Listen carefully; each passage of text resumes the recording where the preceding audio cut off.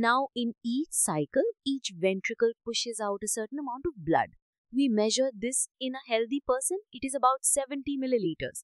We call this the stroke volume. Sometimes it is called the beat volume. Simple measurement.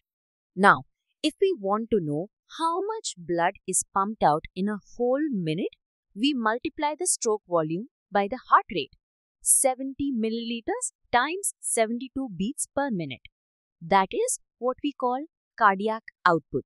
So, in a healthy person, at rest, the cardiac output is about 5000 milliliters or 5 liters per minute.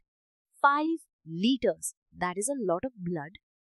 Every minute, 5 liters of blood is flowing through your body. Now, here is an important point.